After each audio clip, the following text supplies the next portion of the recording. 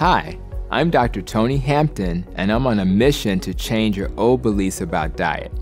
Some of those beliefs are based on out of date science. In this video, we're going to talk about fructose and why you should avoid it. So, what is fructose, and where does it come from? Fructose is the natural sugar in many fruits. But if fruit is generally considered healthy for you, why is fructose a problem? When fructose is naturally consumed in fruit, it retains its fiber in water. But when fructose is added to processed food, its effects on your body can be harmful.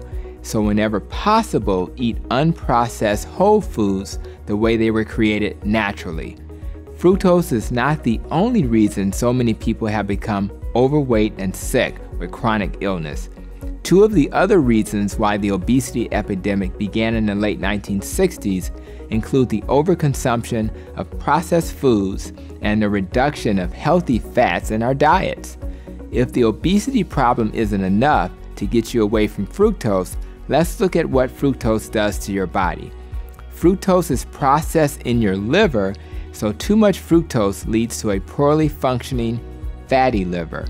Fructose also blocks the hormones that control your appetite, so too much fructose makes it hard to know when you're full, causing you to want to eat more.